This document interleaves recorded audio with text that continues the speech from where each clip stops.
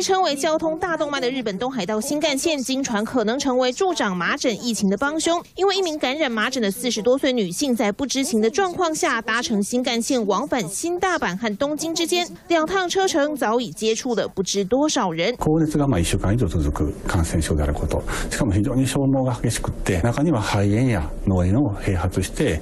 えー、命に関わる。接触麻疹病毒后，潜伏期长达七到十八天。患病女性在六号开始发 烧，一直到十二号到医院检查，才发现自己原来得的是麻疹。由于麻疹透过空气传染，传染力比流感强了十倍，不只是新干线，各种公共场所都有传染风险。多くの方がチョコレートを買い求めたと思いますが、こちら。 大阪アベノハルカスの中にあるバレンタインフェアの会場では働いていた女性2人がはしかに感染していたことが分かりました和歌山市最新的三个病例中，其中一人就曾到该商场购物。此外，大阪市区还有七名百货公司员工确诊。据统计，今年到这个月三号为止，全日本已确诊一百四十八人，尤其大阪染病人数超过去年一整年的三倍。相关单位赶紧呼吁接种疫苗，并要求民众要是有类似症状，要尽快就医，以免疫情。 持续失控。三立新闻的录音报道。